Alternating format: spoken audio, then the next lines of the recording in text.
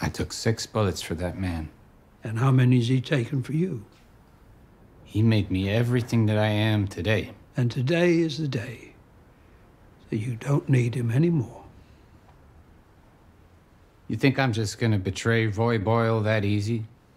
No, I don't think it's easy. I think option A is we all die.